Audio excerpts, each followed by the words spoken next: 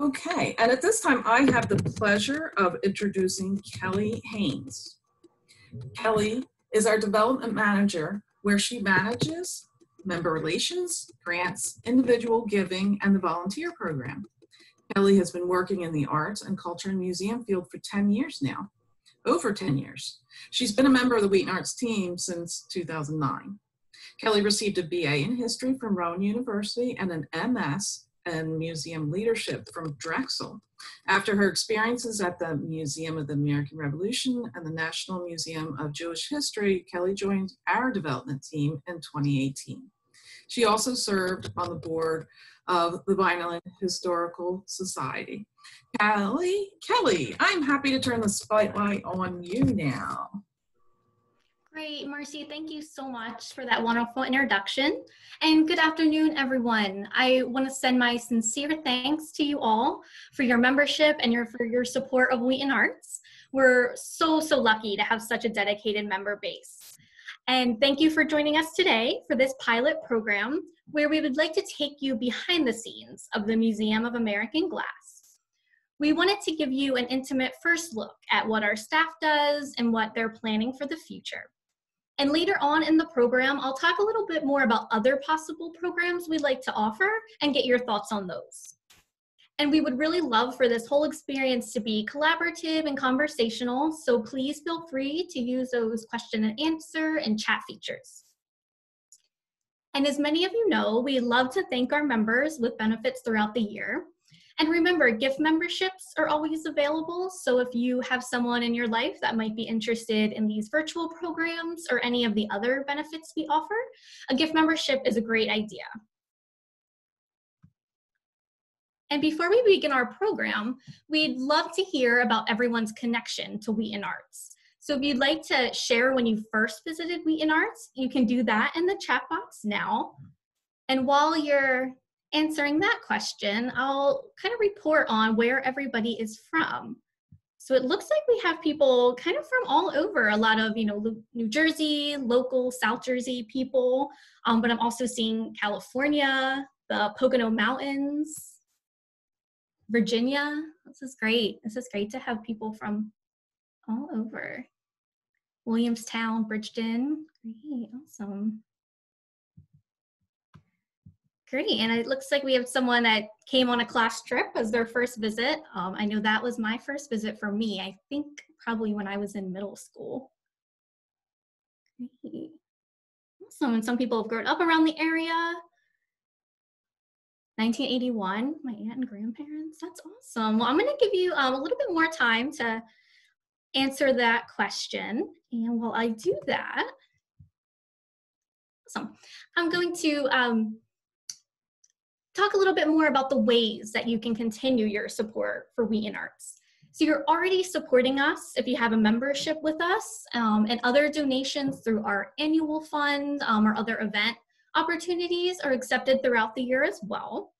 And remember, your membership discount um, in the stores is 10%. And while we're closed to the public right now, you can still shop online. And when you make a purchase in our stores, you're not only supporting Wheaton Arts, but also the many artists, both on site and around the world, that have work in our stores. And it's a great time to shop this month. Um, starting on June 6th to the 21st, we'll have a free shipping promotion through our shopping cart. Um, and if you're a local resident, we have curbside pickup available on purchases too. And if you'd like any more information about the different ways you can support us, you can contact me. I'll have a slide at the end of the presentation with my email or our Director of Development, Rody Barron, whose contact information is right here.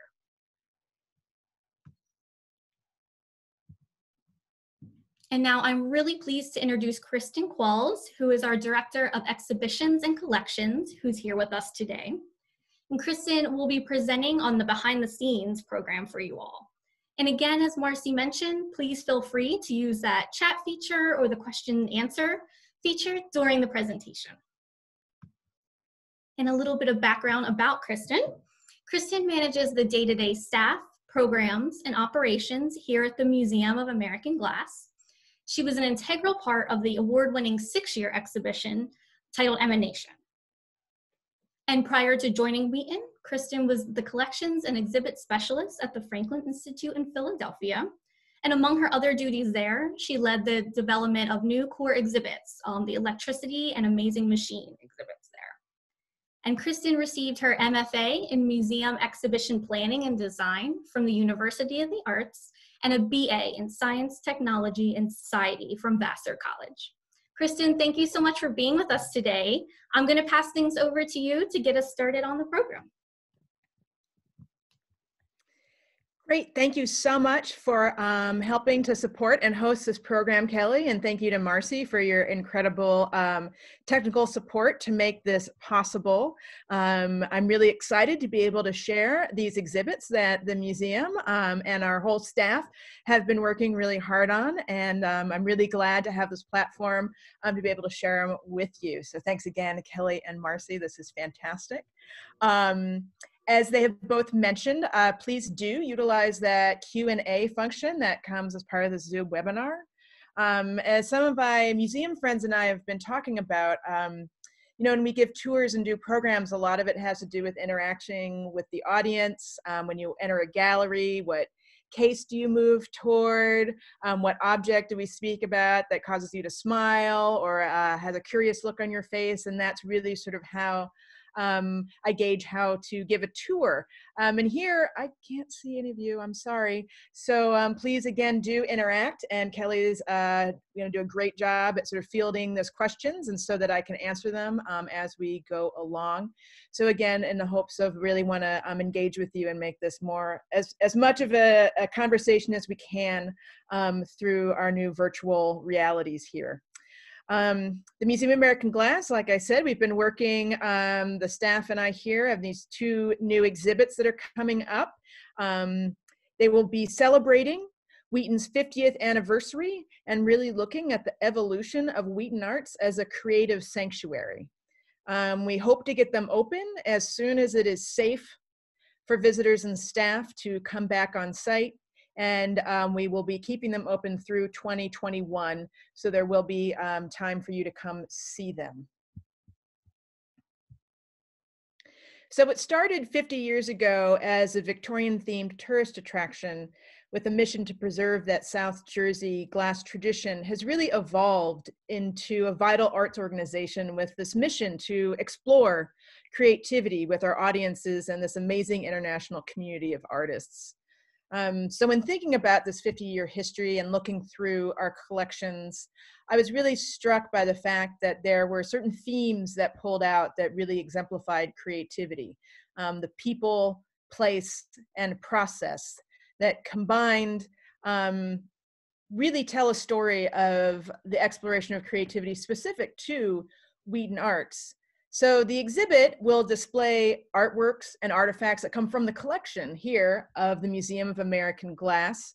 Um, and it's through these tangible pieces that um, we're really hoping to convey the intangible qualities that make Wheaton Arts the creative sanctuary that it is. The people that allow creativity to flourish, the place that is steeped in this glass-making tradition, and the process of balancing skill with vision.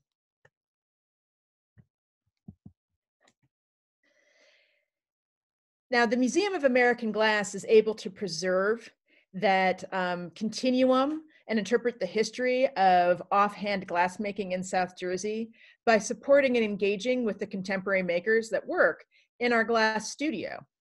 We have a fellowship program that was formalized in 1983 and here you see two pieces from those fellows. On the left, Amy Roberts Chamberlain, Blue Sacrificial Bowl. And on the right, James Harmon's Rap Series.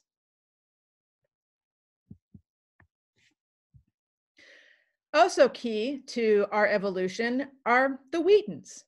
The Wheaton family ensured that the name Wheaton came to equal glass. You can see here on the left is a piece by Stephen Paul Day that he made with old Wheaton apothecary bottles.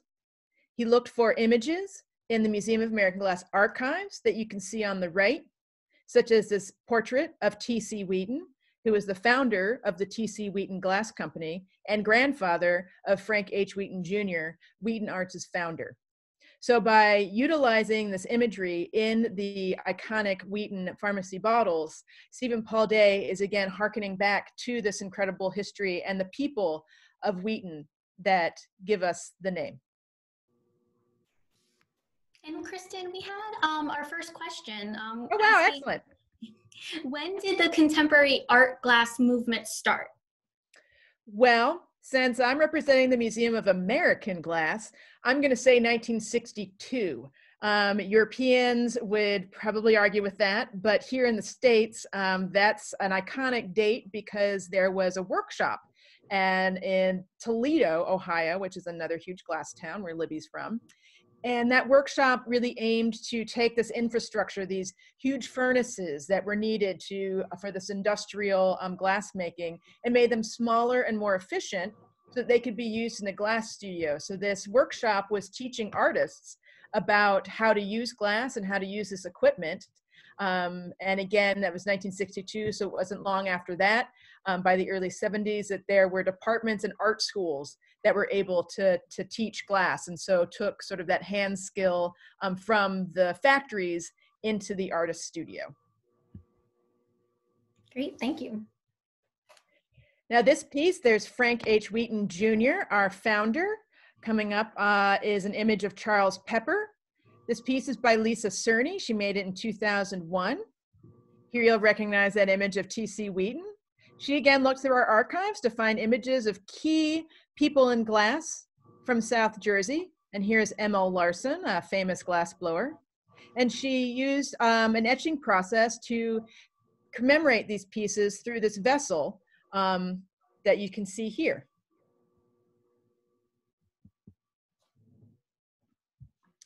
Now the story goes, Wheaton had a ghost. And artist Sibylle Peretti came here in 1992 under a fellowship, and she wanted to capture that ghost for us so it wouldn't haunt us anymore. So you can see here, she's taken one of those Wheaton apothecary bottles, and she's captured the ghost. An old staff member who used to walk around with the paperweights held behind her back so they wouldn't knock together. You can see the figure inside the bottle is doing that, and she has etched on the finial of the apothecary bottle a figure representing this ghost that is now captured.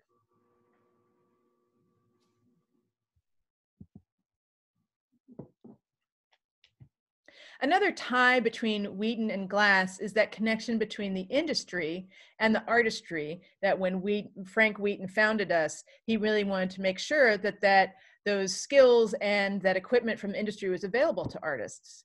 So here's an example of how that industry influenced an artist. On the left, you'll see a bottle, um, a larger bottle uh, made by Katherine Gray in 1992. Now that shape is known as a Prince Matchabelli, a well-known um, perfume who uh, used that um, iconography as the crown of the crown for their perfume bottles.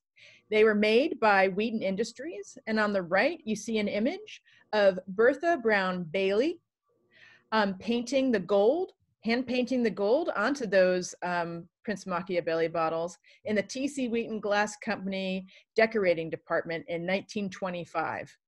Often in industry, the women had roles in the decorating department doing this type of detailed hand painting work.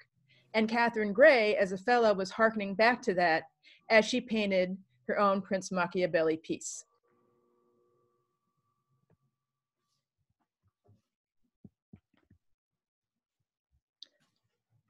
Wheaton Arts is possible because of the broader community of people who help support the practices of these artists. So we had Wheaton that established glass in South Jersey and help support the artists. And then we have collectors who've played a role as witnesses to the studio glass movement and have embraced the medium of glass as a fine art medium, as well as the artists that work with it. And uh, we have been lucky enough to have some of those collectors donate pieces to the museum so that we can preserve them and share with the public our shared passion for glass art. For example, here we have a William Morris piece, Suspended Artifact from 1995, that was generously donated by Peter and Jane Galetto, who have been incredible supporters of our glass studio. Paul Stankard, an incredible artist on his own right, also collects and has been able to donate pieces to the museum to ensure that we're representing all the studio glass movement. For example, this piece is by Dominick Labino. And as I had mentioned earlier, he was actually one of the ones that co-hosted that 1962 workshop with Harvey Littleton that introduced glass to the art world. So it was really important that we were able to have a piece that represented him. And it is wonderful that Paul was able to donate that to us. Kristen, if somebody had a piece um, in their own, you know, collection or you know something like in their home and they wanted to donate it to the museum, how could somebody go about doing that? Excellent question. Um, and, you know, that's fantastic. Um, our collection is largely made up of donations. And um, the best way to do that, if you, if you have a piece or pieces in mind, would be to email me. Again, my contact information will be at the end of this presentation.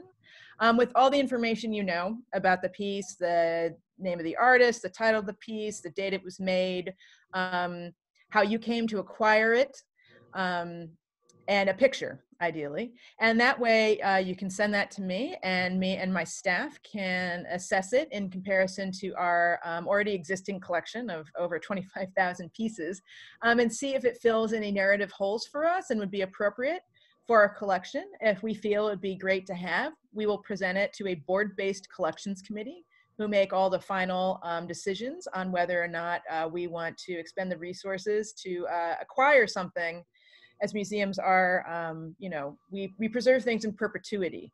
Um, so we want to make sure that we are managing our resources appropriately.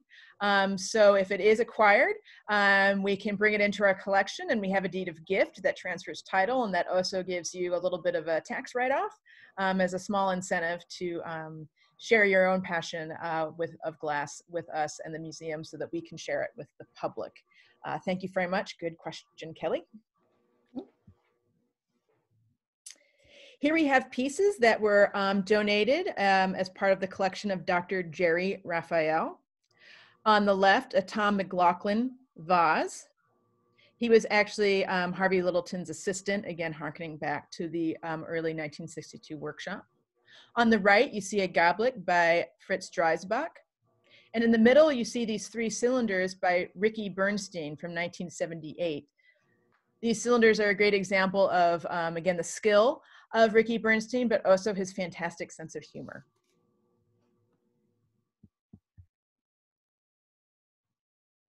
Here are some pieces uh, gifted to us by Gail Wilson Britton. On the left, you see Therman Statom's California from 1985. And on the right, Fritz Dreisbach's piece from the Mongo series. Now, both of these artists are using line incorporated into their work. Therman uses line by drawing on the outside of flat pane glass, whereas Fritz has used glass itself to draw the line and encase it into a blown piece.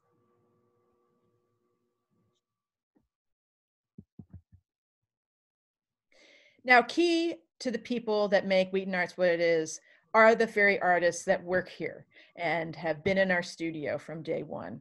The early glass blowers in the studio often came from industry and represent a link in the preservation of glass skills from the non-automated factory work to the studio glass movement.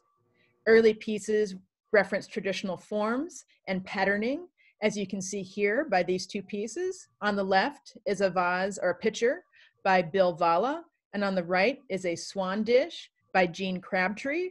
They were early glassblowers that worked in our studio in the 1970s. Kristen, we had another um, good question from the audience. Um, how do many of our artists in residence, if they have access to our collection, how engaged they are with the museum? Oh, absolutely. Um, the museum is is here for all of our artists, whether they are fellows, visiting artists, or artists in residence.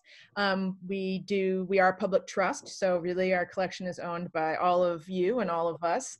Um, so really anyone has access that needs it. But the artists do, when they come, get a tour so they know uh, what we have.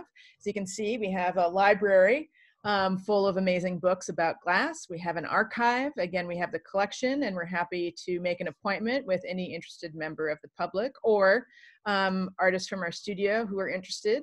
Um, sometimes they'll have an interest in a technique for example, and we can pull some pieces from the collection and let them look at them up close and personal. Um, and sometimes, as you've seen, they're interested in archival photographs. Um, and also, as they can tell you, I will uh, make a bother of myself over in the studio. I'm watching what they're doing, and they've been so gracious in sharing uh, their creative energy with me and talking about their ideas and what they're working on. And often, in that way, I can connect them with some pieces or some part of history that we have in the museum. So, um, yes, we absolutely love that connection um, to work with the artists because um, they add so much. We learn as much uh, from them as they learn from us, and it's a great, great way to um, share again our passion for this uh, medium of glass. Here you can see we have um, by Tony De Palma, who worked in our studio in the 80s. Um, this Devil's Fire, which is a traditional uh, South Jersey motif that he's incorporated into a contemporary perfume piece.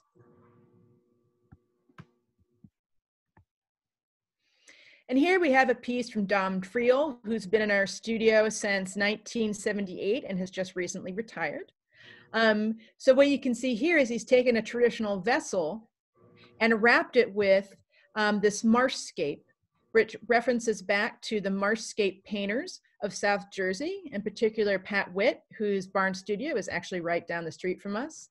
So here, um, Don is incorporating that form of fine art um, into glass. We have one more question, Kristen, um, from the audience. Um, are there classes to learn about the art of glass blowing? Yes, absolutely. We do have classes. Um, uh, they they have a range. Um, if you just want to dip your toe in and see just how hot that furnace actually is, you can do a make your own program. Um, they offer they offer uh, paperweights, bowls. They usually have seasonal specials like Christmas ornaments or pumpkins. Um, so the best way to learn about that is to go to our website. Um, again, right now, unfortunately, we aren't offering that due to um, the social distancing mandates. But um, please keep an eye on our website to uh, know when we get back up and running and can offer that again. We also offer the occasional intensive glass blowing workshop that's over a weekend, um, which you'll get to work with Skitch Mannion, who's our um, technical director over in the studio, and um, get a little bit more in depth into, um, you know, gathering from the furnace, blowing a bubble, up to making a, a simple vessel shape like a cup or a bowl. And then occasionally, when we have the opportunity, we'll offer a longer workshop with um, a master glass blower who might be able to be um, in town for an event or coming through the area. Um, so again, that's uh, you know more depending on the schedules of um, the glass blowers in our studio. But please keep an eye out on um, our website um, so you can get an opportunity to get in the studio yourself. Wonderful. And thank you to Marcy. She's putting all of these links um, for classes, for our 50th anniversary, and how to support us in the chat box. Oh, great. Thank you, Marcy. So with all these amazing people um, who have come together on Wheaton's um, campus, um, it's really interesting because you get um, not just the individual artists working, but them working together with the different fellows that come together who work with each other and our staff artists and visiting artists that might be around, um, who are able to combine their skills and uh, vision to expand their creative practice learning from each other. So we have artworks that display um, this collaborative work. For example, here is a piece by David Hopper, Man Seated on a Paperweight, made in 1986. And you can see he is literally seated on this paperweight, this flower paperweight here that was made by David Plaskett, who was um, in our flame working studio.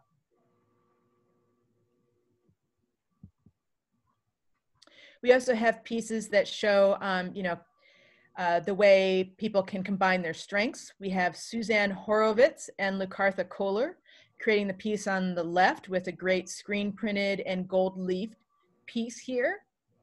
And we also have pieces that just show the sort of camaraderie that happens in our studio when you get a group of people working together. For example, on the right, 5 a.m. Delirium from our 1995 group of fellows, Robin Campbell, Evan Snyderman, Dan Spitzer, and Pamina Traylor. They were in the studio late at night, fixing, you know, finishing up their work during their residency, and um, came up with this whimsy that they created and wanted to give to the museum um, to commemorate again this camaraderie that they had developed working together in the studio. Kelly, are there any more questions? Um, no more questions right now. Excellent. Moving. Okay. Um, in addition to the people that um, really uphold the creative, um, you know, exploration here, um, in using glass, there's it's, it, it's such a unique has such unique properties, and it makes it so dynamic a medium, and it poses a unique relationship between um, the hand and the tool.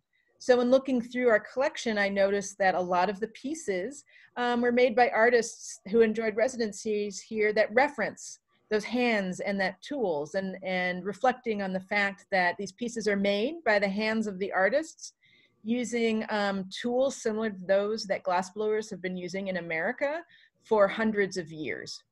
So as you can see here are some pieces um, that very uh, specifically mention hands. We have Stephen Paul Day's Chief Seattle's Hand on the left. On the right, we have Kent Ibsen's Untitled piece. And the middle, this really interesting piece by Mayumi Miyake. She literally took sand and pressed it into her hand and made a pattern out of that that she poured the glass into. So that is literally glass being pressed by her hand. That's the imprint of her palm on that glass. So very um, representing very directly, again, the, the artist's hand and the role it plays in creating these pieces. Again, glass is interesting because you can't touch it directly since it's so hot. So here we have some tools. Drew Smith's uh, 1992 piece where the glass rods are taking the place of the brush and a um, paintbrush, as well as Saman Kalantari's um, Second Depression. Here's a detail of the piece where he's um, taken this really amazing Pâte de Verre technique where you fuse glass together and recreated both um, shadows and um, models of the shears that they use um, when working with the glass.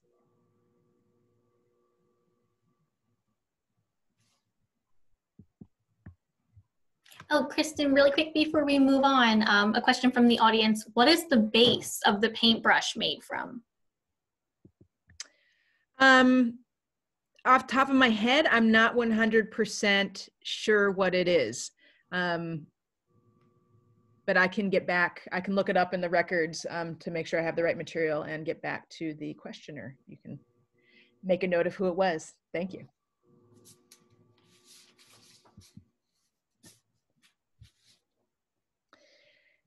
Now, great connection between hands and tools um, is the Millville Rose. Um, it was in the, this pattern um, was invented in Millville in 1905 um, by Ralph Barber, who was a glassblower at the Whitall Tatum Company, and he was also a rose gardener. And in his off hours, um, he created this special rose pattern. Um, he invented the tool, uh, the crimp, which you can see on the bottom of the photo, that impresses this rose pattern into the paperweight.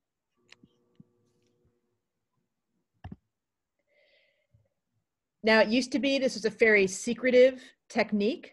Um, Tony DePalma, who I mentioned before, who worked here in the 80s, um, would literally lock the studio doors when he was making the weights so that people wouldn't see him. Um, nowadays, hopefully when uh, we reopen and you can come back in the studio, you'll be able to see um, people demonstrating making the rose to the public. So it kind of shows the way I'm sharing these tools and techniques um, have changed over the years um, but you can still see that the Millville Rose, in spite of being in different patterns and um, forms, um, still represents a very specific style. And Kristen, kind of piggybacking off of that, um, for that specific style, if it's made somewhere else that's not in Millville, is it still called a Millville Rose? Yes, my understanding is that this specific style is a Millville rose no matter where it was made. So Millville has absolutely um, made an imprint on glass history. Great, thank you. It's an excellent segue into um, the place really being another important part of the evolution of Wheaton Arts. Um, South Jersey has such a deep history um, with glass, and it can serve as a muse for our artists. As I mentioned before, um, they can see this history um, in the museum and can be inspired by the artfulness found throughout um, the range of American-made glass. Um, for example, here we had fellow Aaron Pexa create the Lucent Parlor. The clear piece on the left was made by him using a mold in our glass studio that was uh, made in 1890 in Jeannette, Pennsylvania. And on the right, you can see a white piece that is the Kemple piece that they used the mold to make uh, to mass produce in the around the 1950s. Um, so you can see um, Aaron's piece. Um, he didn't quite fill the mold. He kind of malformed it. So he's referencing this pressed piece that was handmade but mass produced. Um, so really showing the hand that's involved in creating these pieces.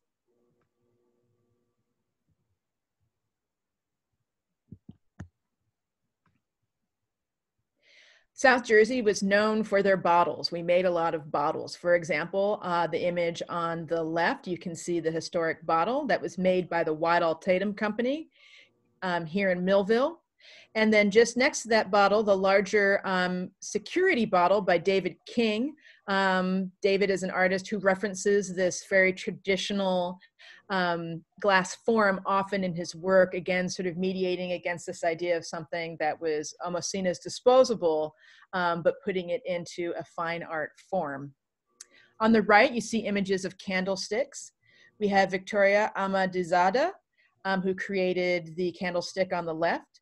And you can see that she was directly influenced, um, came to their collection and looked at it um, by this candle holder, the blue one, on the right that was made of Durand art glass here in Vineland in the 20s.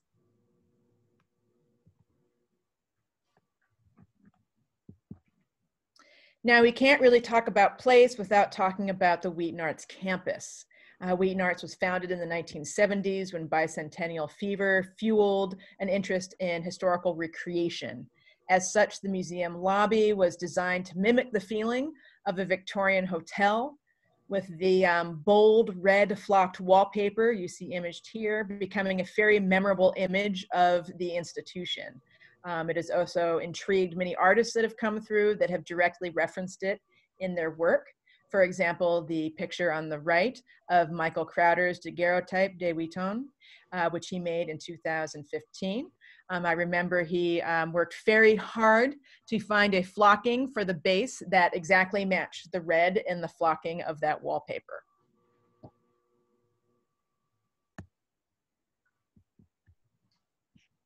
Here's another piece by Heather Sutherland in 2018. She's created um, large scale lipstick um, out of glass and you can see that the patterning on the um, lipstick case looks like the patterning from the wallpaper. Um, and you can't really tell from the picture, but I can tell you that it is flocked. Kristen, I think it's so cool. I mean, as you mentioned, you know, it, the wallpaper being such a staple and then, you know, to kind of see artists take, you know, what's here and then, you know, make their own, you know, cr creative thing out of it. Um, could you speak just a little bit more to like the actual wallpaper, if we know like where it came from, the story behind that at all? I've been asking the question of where that wallpaper came from since I started working here. Um, it's an astonishing piece. Um, we don't know what, I don't know what company it came from.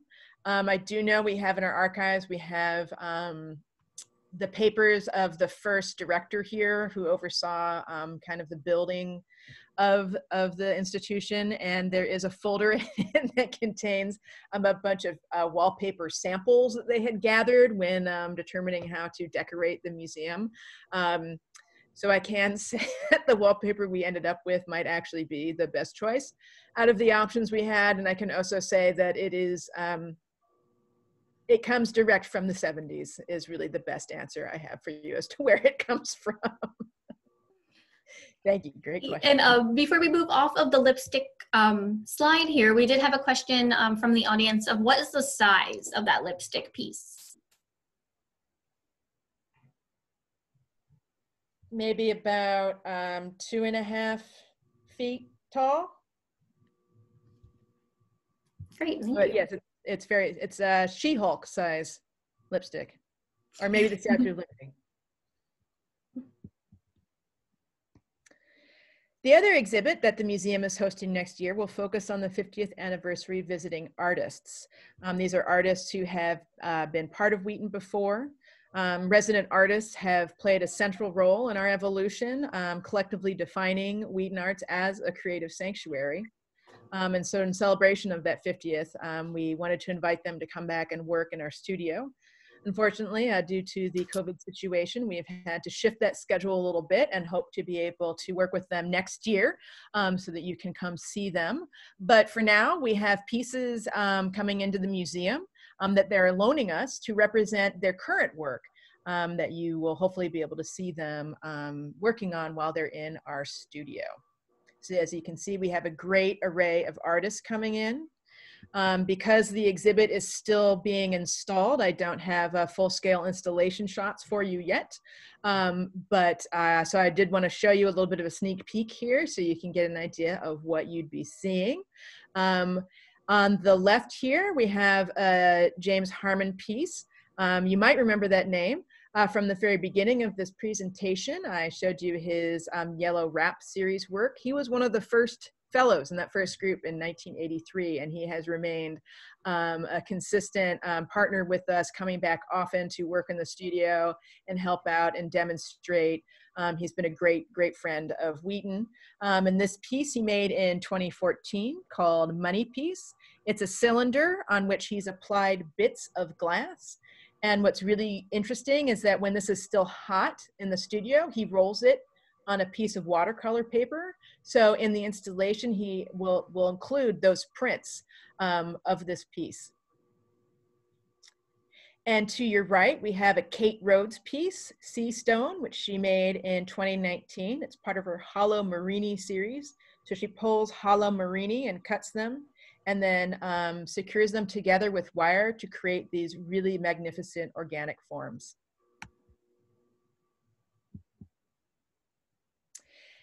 Now on the right here, you might uh, recognize this artist, um, none other than Paul Stankard. He actually was one of the artists that helped establish our fellowship program back in 1983, and he has been really working with us since we opened. And again, like Jim, he's still been um, a great friend to us throughout all of this time. Uh, this close-up is of his piece Pollination, which he made in 2004. And you see these beautiful um, encased glass flowers. Now on the left, um, you can see these glass flowers that are part of a power figure um, from Vanessa German that she made during her emanation residency in 2017. Um, and I think um, given what's going on in the world today, it's really worth um, reading the full title out um, and giving it some thought. Love is still the greatest of who and what we are. For how the sky is a song in the shape of healing, for how not to die of sorrow, for how we need each other. I am reaching for your hand.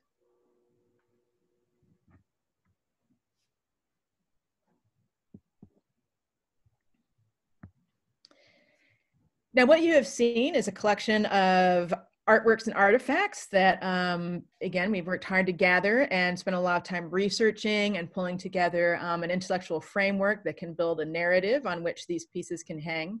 Um, but that's only part of what goes into creating an exhibit. Um, the sort of industry uh, word on the street is it takes about 25% of the effort to do that sort of curatorial research, and the other 75% of exhibit work is everything that has to happen so that that research can have a place um, to be displayed so that the audience, you guys, um, get to see it. Um, there's a lot of facilities work that goes into exhibit. I mean, it's a giant three-dimensional story. Um, so the facilities have to do all the repairs from the last exhibit, um, prep our cases and um, any specific needs we have for mounts for specific pieces so we can install them. Um, we have a lot of platforms and vitrines and, and stands that need to either be made or fixed and then painted to make sure they're um, the correct color for the current exhibit.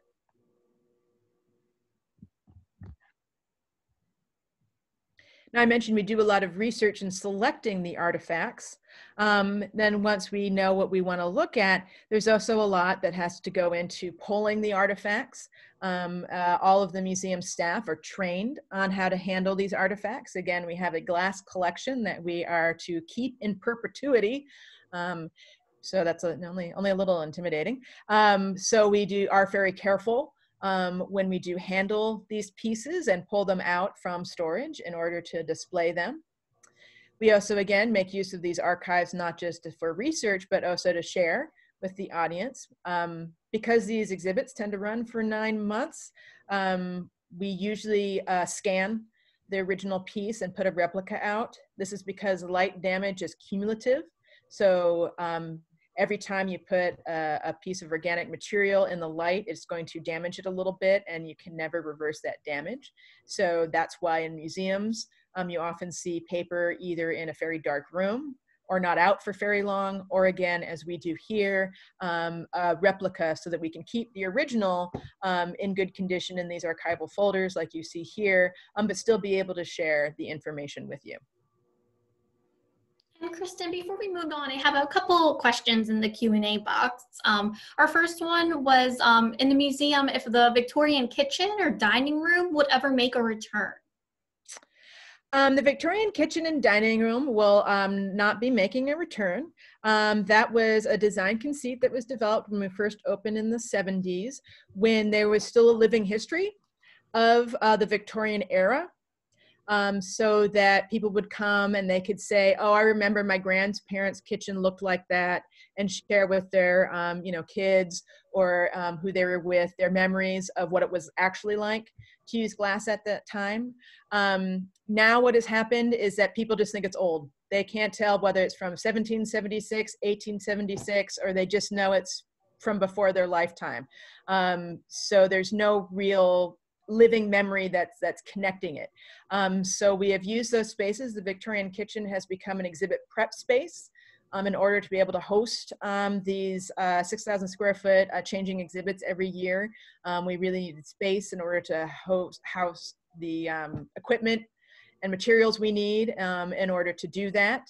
and the Victorian dining room again, neither of these were specific pieces. They were sort of esque um, what would have what could it what it could have looked like. So we weren't preserving a specific um, person's dining room.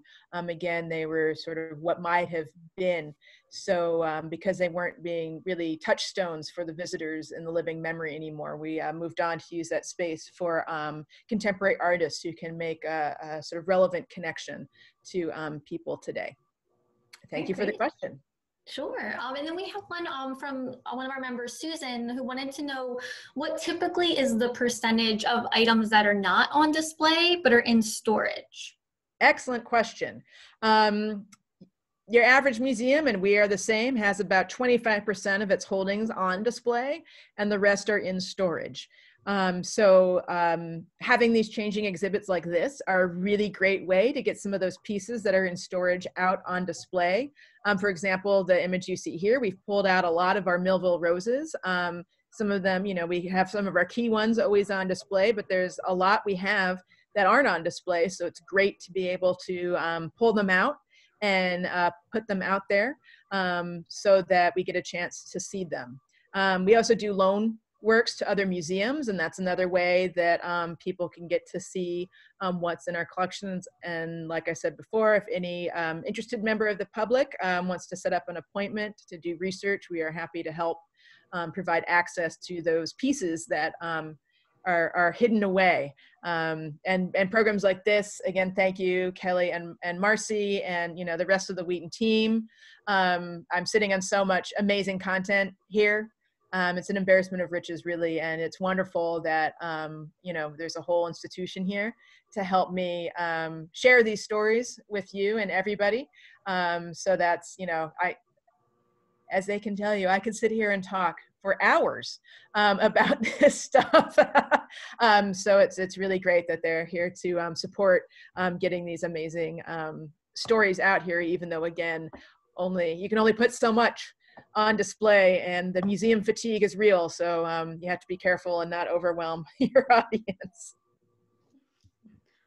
And then before we moved on i just had kind of a follow-up question to that of when you're planning for you know an exhibit like this and you're researching and pulling out objects how much of that actually gets to be the final product? Is everything you pull you know in the beginning a guarantee right away or what's that process look like excellent question um, not necessarily um, when we do research on the collection um, again we are a glass collection and the biggest threat to our glass is handling. So we try not to handle it as much as possible. And that's why we have a database that holds pictures and in information about these pieces. So we'll research in the database. And then from that, you can actually see and the slide up here in the image on the right is, um, you know, some snapshots, a, a you know, just sort of a, a outline of the script I had, snapshots of images um, so we could go find them in the storage area. And sometimes we get to the storage area and we find that something um, is maybe um, too dirty or has some conservation issues and it's not really ready for display right now. Um, sometimes we will work to create a mount that will function for the place where we want it to go and we just cannot figure figure that out. Um, you know, other times we just, while we're searching for something else, we'll stumble upon something and be like, oh, wait a minute, that would be better. So absolutely, um, the old adage in uh, the museum world is um, an exhibit is never finished, it just get put up. So um, pretty much it's changing until that glass goes up.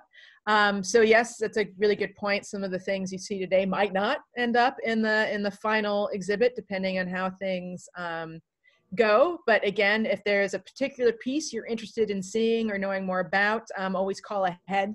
Um, and if possible, you know, you can make an appointment with us to do more research or, or to dive deeper into it. Um, as you can see here also on the left is an image of a floor plan um, that we worked out. Um, so again, as, as another part of these exhibits is not just picking the artifacts, but designing where they go, um, you know, not just how, you know, how they fit in the case, but also how the cases that they are in um, and the vitrines and the platforms lay out in the space, um, the graphics that go along with it that hold, hold the text to, um, you know, interpret these pieces.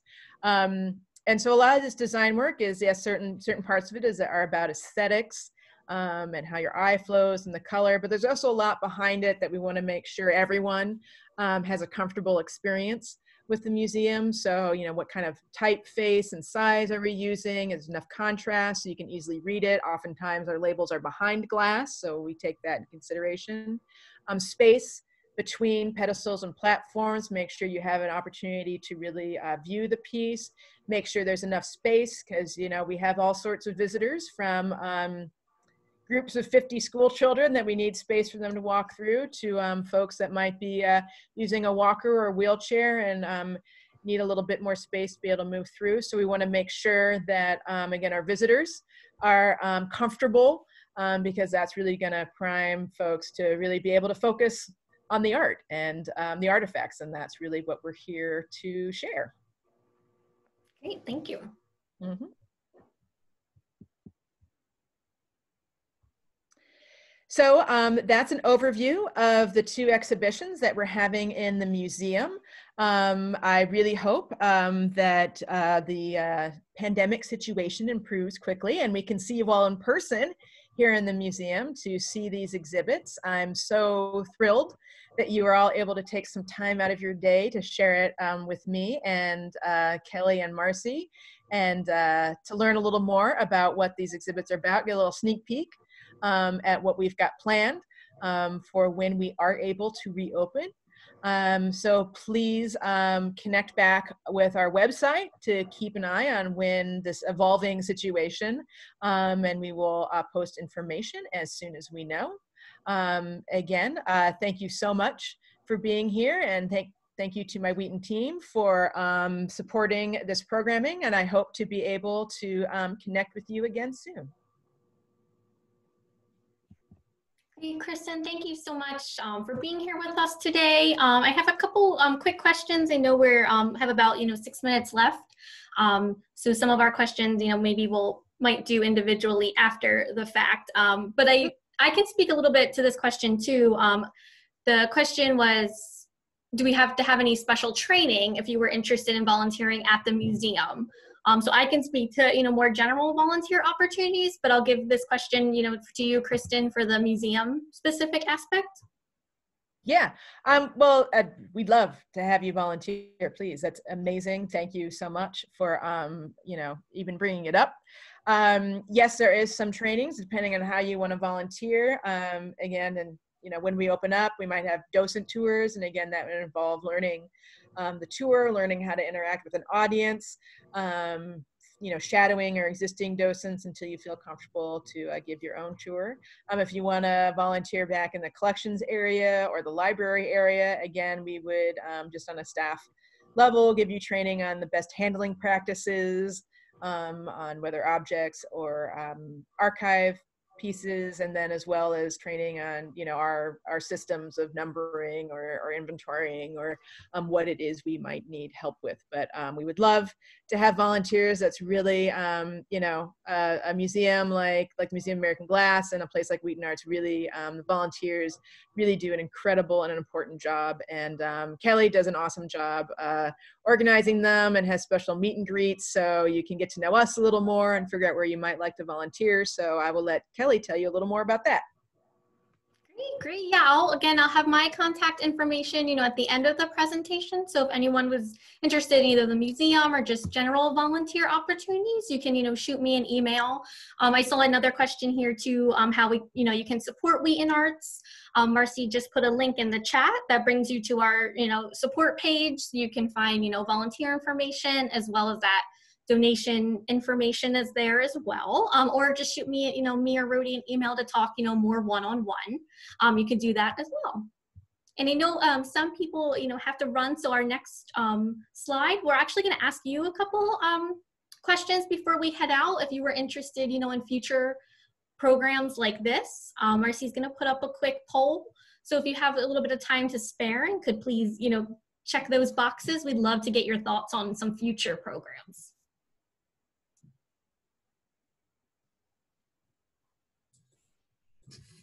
And then while everyone is doing the poll, I'd like to again thank Kristen so much for giving us this sneak peek, kind of behind the scenes look at the museum exhibit so far, and to Marcy for all of her technical help and getting us, getting this presentation, you know, up and running and training us and getting it out there. So thank you both so, so much.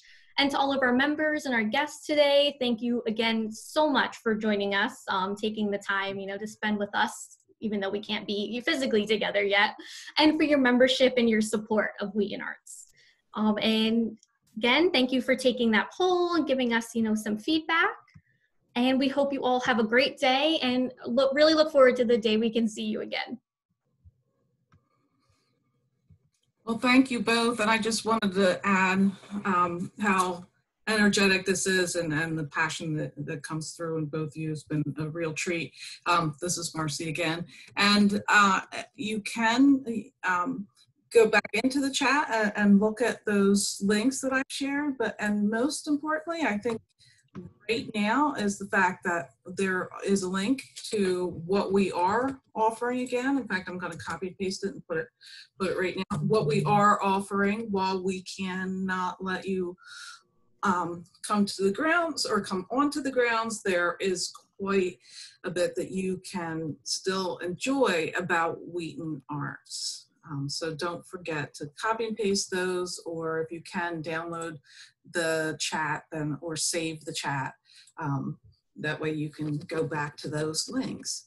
And we will just um, wait another moment um, so that we can make sure that everybody gets a chance to answer those three questions. We're about halfway through and we'd really like everybody to just, um, uh, just it, it's just three questions, just um, give us an idea so that we can better serve you and, and um, meet you where you'd like to be. And I know there's there are plenty of things on the portal of the website, but there's a lot of excitement and a lot exciting things coming up. And um, I think you two showed that excitement. Um, Kelly, do you want to check the questions and are we, we're all caught up to date there? I think so. Oh, I missed um, the best way to clean art glass. It was anonymous, so I'm not sure if that person's still here. Well, it's a good question. It looks like Um, everybody's still here. Okay. Um, so in terms of cleaning glass, again, we're a museum, so we have a mandate to keep it in perpetuity. So we are going to be um, very cautious with it. Um, depending on the size, um, if it's a, a smaller piece um, without other materials on it, we have literally a, a Rubbermaid bin. So it's a soft plastic to kind of cushion it um, that we fill with uh, distilled water and maybe a drop of Dawn dish soap and use a soft cloth to um, clean it and then rinse it again with the distilled water and uh, let it air dry. Um, so that would be again a, a- very conservative approach. Um, for artworks, you know, the, those little air canisters, um, again, depending on, on what other materials might be in there, um, are good for getting dust out of little crevices, little Q-tips to get in there um, would be the museum way. As far as, um, you know, your own glass, um, the idea of putting a tub in a sink just to protect it from breakage, um, a plastic tub is is great. Um, you know, you can if you need to make it shine, um, go ahead and use Windex or another kind of glass cleaner or vinegar or something like that to again. But you just want to manage the other materials it's with. You want it to be you. If it's got paper, you want to be you know more considerate of what the paper can take. Um, but that's um, yeah, don't break it is really how you clean it very carefully. But good question, very good question. Okay. Well, Thank you. we can wrap it up now. And again, I'll, I'll give everybody um, five more seconds if they want to save the chat or um, we have about five people that could answer the polls if they get to it. And again, just thank you all so much um, for joining this pilot program. We hope you enjoyed this behind the scenes look. And, and again, we just, we can't wait to see you all again and get to show you the final product. Absolutely. And thank everybody for their um, words of cheering us on. Yes. Oh, yes. I'm going to go ahead and end the polling, and um, this way you will be able to see um, Kelly and Kristen's information.